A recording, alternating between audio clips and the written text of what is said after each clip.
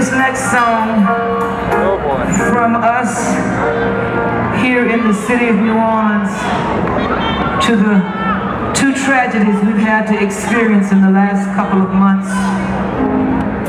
All the children of Sandy Hook and all the families of the Boston bombings. If anyone's out there from Boston, New Orleans is with you. New Orleans understands. We may be named the party city, but like I said in the beginning, we are a praying city. And we are a giving city. We do what we can, only we know how to do is to give you our love, our time, and our prayers. And those of us who can, we send money to help those in need.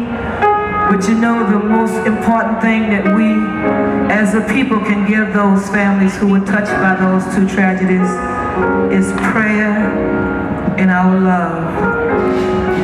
More than anything, they need those two things. They need to know that they have shoulders that they can cry on and a family that they can go to whenever the need arises.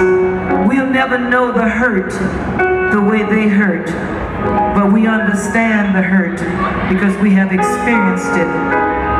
But from New Orleans, my church family up here, and the rest of us in this city, I dedicate this song to those families and understand that we mean every word of it.